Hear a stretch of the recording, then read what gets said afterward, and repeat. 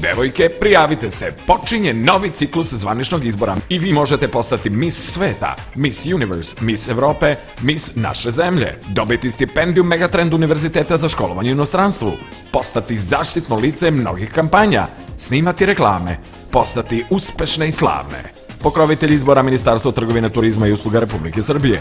Generalni medijski sponsor Televizija Pink.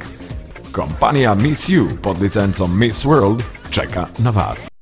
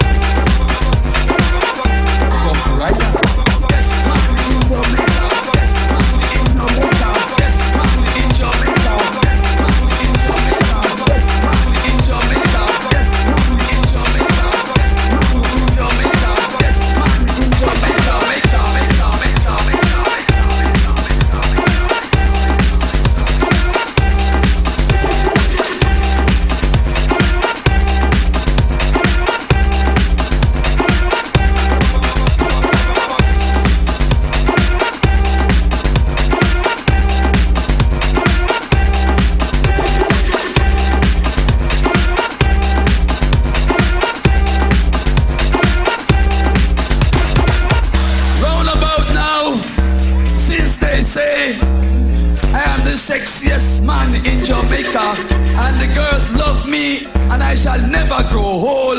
So I say, Rough Rider.